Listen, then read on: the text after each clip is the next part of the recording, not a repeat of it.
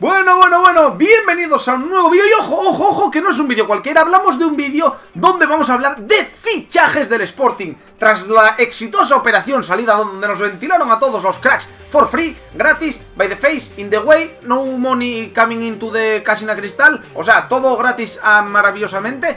Empezamos a mover mercado, empezamos a tirar ahí pim pam pum de chequera coste cero, evidentemente Y empezamos a traer jugadores a Gijón, empezamos a traer jugadores al Sporting. Sabíamos de Víctor Rodríguez, ya tenéis un vídeo hablando de él pues un poquitín más atrás con algunas imágenes y tal. En este solamente hablaré yo, no he buscado vídeos, no he buscado imágenes sobre los jugadores que vamos a hablar a continuación Pero ya sabéis que YouTube es una fuente de información maravillosa, con lo cual si ponéis ahí pues Diego Mariño seguramente saldrán cosas. Si ponéis ahí Lillo, tal, también, bueno. Lo dicho, vamos a hablar del mercado, vamos a hablar de fichajes. Lo primero, portero Diego Mariño viene del Levante, viene de un recién descendido. Parece que tenía bastantes novias y el Sporting pagó ahí la pasta. Pagó la pasta, 300 y pico mil euros, anda la operación.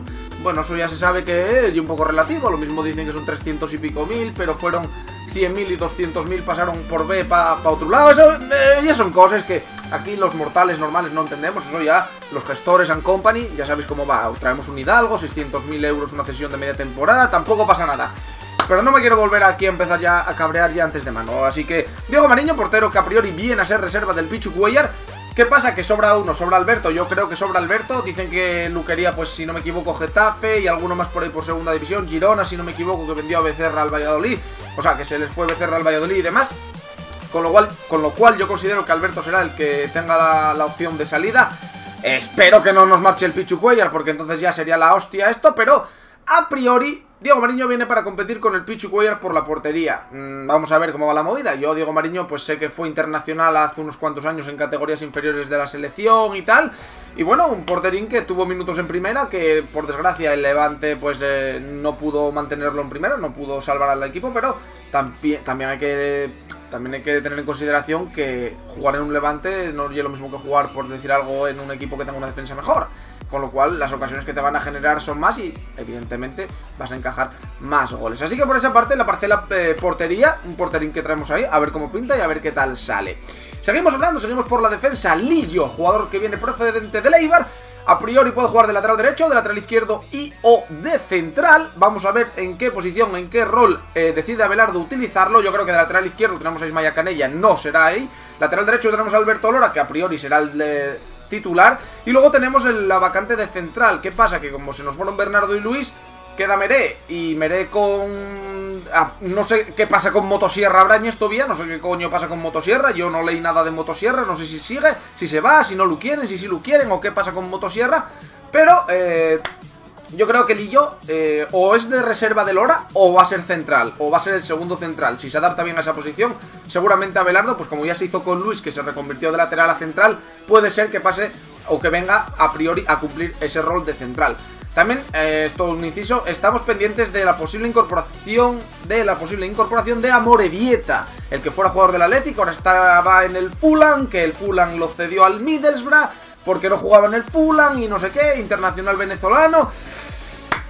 Ver, veremos, ver, veremos qué pasa con Amorevieta, porque en principio si viniera, o si viniese, por lo que leí, eh, tendría que ser a coste cero, y tiene contrato, con lo cual las negociaciones están ahí, el tira y afloja, clásico y demás, ¿no? ¿Qué más tenemos? Bueno, pues eso, la defensa Lillo, tenemos a Mariño y tenemos luego eh, dos jugadores de parcela ofensiva.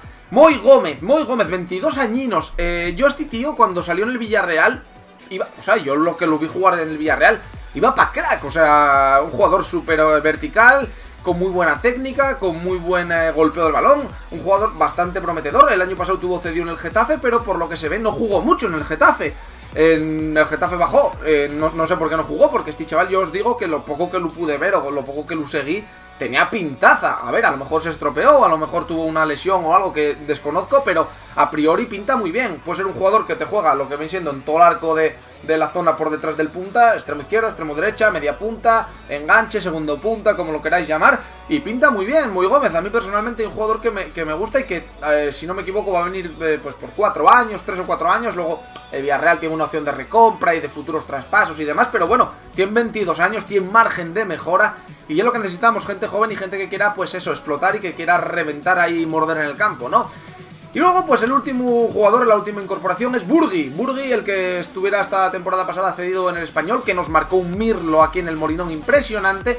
Por el Twitter mucha gente me lo está diciendo, oye, vaya fichaje que lleváis, a ver si os sale mejor que a nosotros, porque aquí no tuvo minutos, que hay un poco intermitente, que lo mismo te hace un partidazo que no lo ves.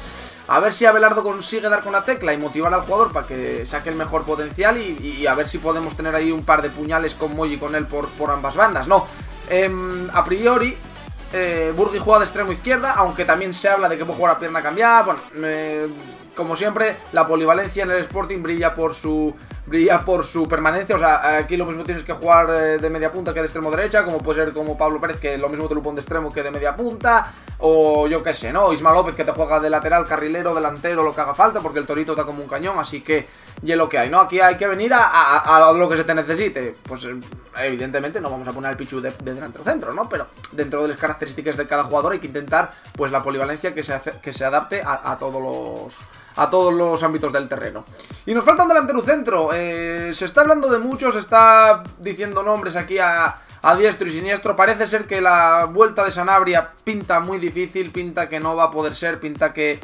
Incluso puede ir para el Betis. Algo me mandaron por el Twitter también los aficionados del Betis que suena que por 6 kilos más variables o 10 kilos más variables o algo así. Se está hablando de que daban ofertas por ahí de 12, de 13, de 14, de 15 kilos. Así que Ahí está, ahí está el tema. Así que bueno, si se va para el Betis, pues vais a flipar los que me seguís del Betis, porque para mí un delanterazo, eh, si se juega un poquitín para él y un delanterazo, y, pinta muy bien. Así que no creo que sea el que venga otra vez de vuelta cedido aquí. También se hablaba de una posible cesión de Ponce de la Roma, también se hablaba de que si, bueno, yo escuché, evidentemente, mm, pues es verdad o no, de, de este Povic, aunque lo acaba de comprar el Getafe en propiedad, si no me equivoco, con lo cual no creo que lo vayan a dejar salir ahora. Y también se está hablando y pilla bastante fuerza la opción de Sergio León, delantero del Elche, Pichichi el año pasado en segunda, pero por eso habría que poner la grava. El Elche, si no me equivoco, pide 2 kilos, el Sporting quiere dar un kilo, pero el Elche podría tener interesado en Alberto, el portero reserva del Sporting, con lo cual podría haber un intercambio en la operación. Ya sabéis, el salseo de los fichajes y, y demás, con lo cual si llega así chaval, a priori, 100 gol, 100 gol porque fue Pichichi en segunda, aunque también David, eh, el que estuvo en el Sporting, marcó pila goles y aquí en el Sporting a mí personalmente no me gustaba nada, con lo cual hay que ver cómo, cómo pinta la movida, pero hay que, hay que mirar a ver, hay que mirar ver en qué queda. Estoy todo un poquitín lo que siendo rumorología, ¿no? También suena Mar Valiente, el que jugara en el Barça, el que jugara en el Sevilla y Valladolid, si no me equivoco, que ahora está en Israel, con lo cual traeríamos un central de la Liga de Israel a jugar a Primera División eh, con tanta carencia como centrales y tal. No sé cómo pintaría, si no me equivoco tiene ya 30 o 31 años, más o menos. Así que bueno, eh, siguen sonando nombres, siguen sonando cosines, pero bueno, ya lo que hay. Dicho esto, pues hasta aquí, más o menos lo que tenemos. Tenemos nuevos fichajes, cuatro jugadores más Víctor Rodríguez 5, las bajas ya las sabéis. Y bueno, pues como siempre, comentar acá abajo qué os eh, parecen los fichajes, que, cómo lo veis, qué creéis que necesita el Sporting, quién os gustaría que viniera para el Sporting, evidentemente dentro de lo razonable y dentro de lo posible, real y, que no sea un sueño en plan de no, yo creo que vuelva aquí Villa. Villa, Villa no se sabe lo que puede pasar con Villa, no se sabe si vendrá cedido de la New York o, qué pasa, ¿no? Y es lo que hay. Así que eso, lo dicho, tenéis abajo también mis redes sociales, Instagram, Twitter y demás. Seguirme en todas ellas porque ahí doy mucha caña, doy mucho salseo y os podéis enterar de cuando subo vídeos y demás, Facebook y todo. Y, nada, nos vemos en próximos vídeos, lo dicho, reventar el like, suscribiros y comentar sobre todo que abajo quiero saber vuestra opinión sobre estos jugadores que van viniendo al Sporting. Un abrazo, nos vemos en próximos... Puxa Sporting.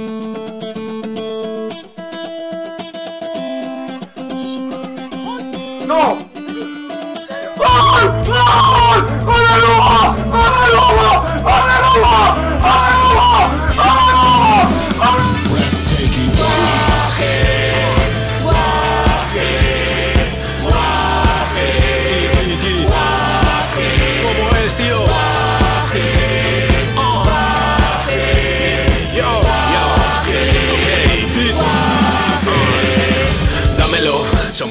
Del balón y furia Retando el campo contra paro y penuria. De mí se cuentan historias donde hay lujuria. El FIFA está en mis manos, sí, pero en el corazón Asturias. Siente el tacto del estilo campeón Cantando a Kirio, reventando el campo fieles en el molinón. All in, all in, siente la eterna pasión El juego al Sporting me la suda si me falta Dios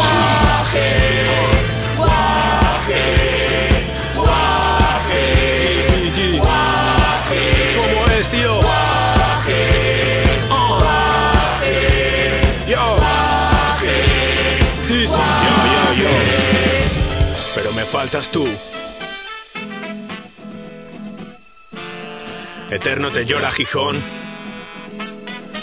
Pero me faltas tú, eterno te llora Gijón, unido por tu fuego, humanidad y profesión, porque no ser uno más del montón especial y amado, esto va por ti amigo, eterno preciado.